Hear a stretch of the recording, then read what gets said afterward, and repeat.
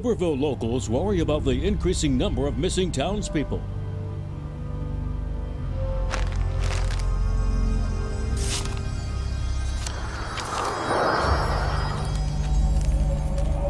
According to the townsfolk, people in Liberville have started disappearing.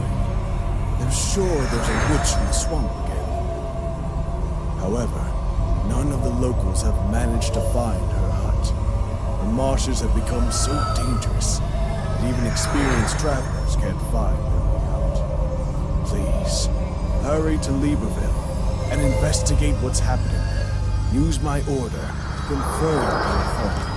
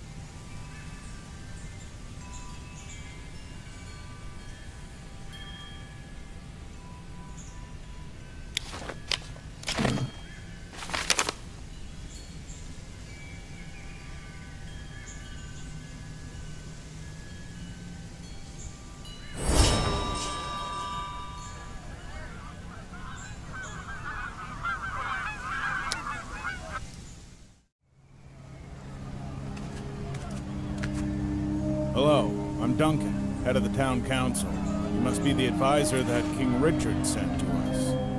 It's very nice to meet you. So, King Richard has finally bothered to pay attention to our little town. What did you find?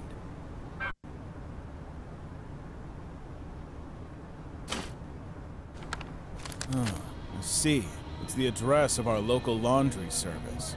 Martha used to work there. She's the wife of the man who died in the square. Go to the shop and talk to Bertha. She's the head laundress and knows a lot about Martha. Maybe she can tell you something useful for your investigation. I'll tell your coachman how to get there. Now I must disperse these onlookers from the square. I'll join you afterward.